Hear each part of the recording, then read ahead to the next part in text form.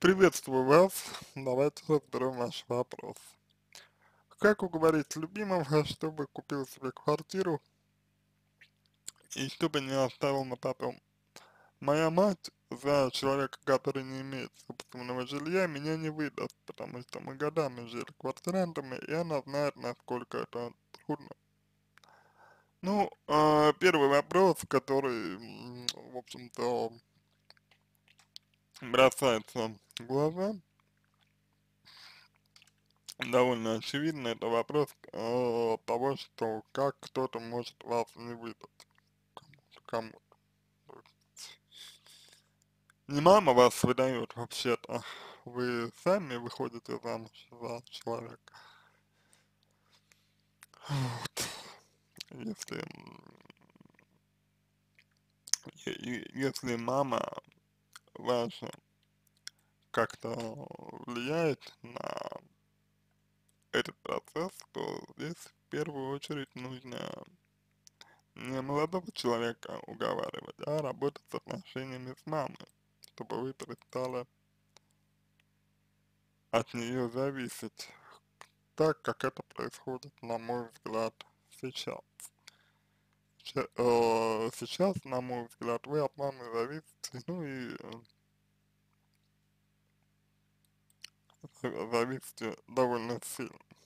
Вот.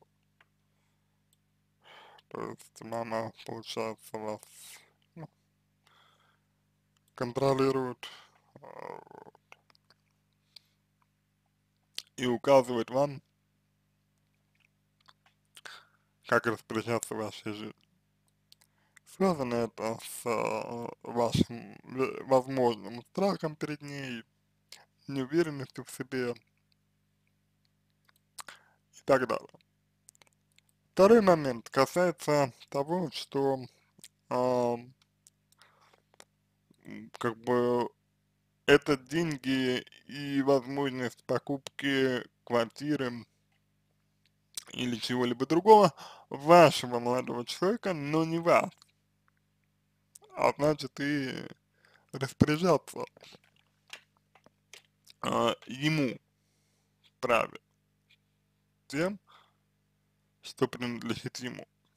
Вы не можете ему указывать. Дальше.